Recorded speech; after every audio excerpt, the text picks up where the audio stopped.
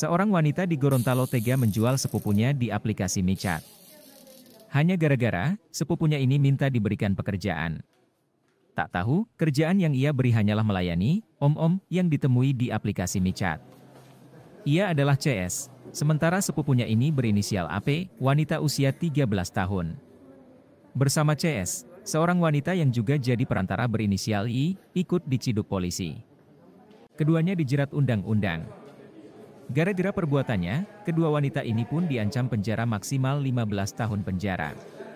Kapolresta Gorontalo Kota Kombespol Ade Perdana mengatakan, kedua tersangka itu dijerat dengan pasal 2 ayat 1 dan ayat 2 U nomor 21 tahun 2007 tentang tindak pidana perdagangan orang. Keduanya diancam dengan hukuman minimal 3 tahun penjara, maksimal 15 tahun, denda minimal 120 juta rupiah maksimal 600 juta rupiah, ujar Ade. Diketahui, kedua tersangka berinisial CS dan Y telah menjual anak di bawah umur melalui aplikasi micet. Korban AP merupakan sepupu dari tersangka CS, yang memang sering meminta uang ataupun pekerjaan.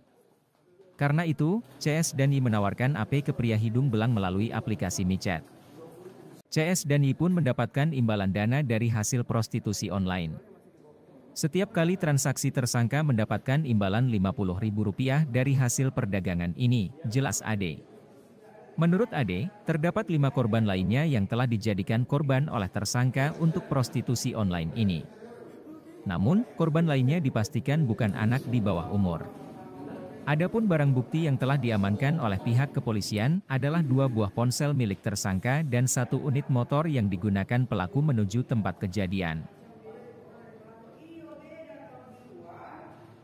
Terima kasih sudah nonton. Jangan lupa like, subscribe, dan share ya.